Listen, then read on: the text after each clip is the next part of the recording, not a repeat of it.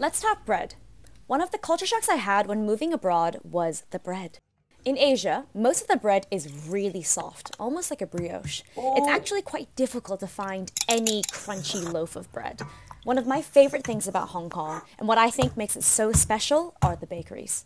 You'll walk down a street and suddenly you're enveloped by the scent of sweet egg tarts, This is what you want. A smooth looking dough. freshly baked pineapple buns, bolo bao, and of course, loads and loads of soft, fluffy milk bread.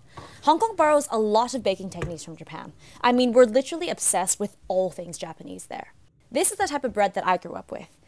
My mom, who basically doesn't spend any time in the kitchen, unless she's making instant noodles, almost always had a thick slice of shokupan lightly toasted with butter and jam on the weekends as a treat.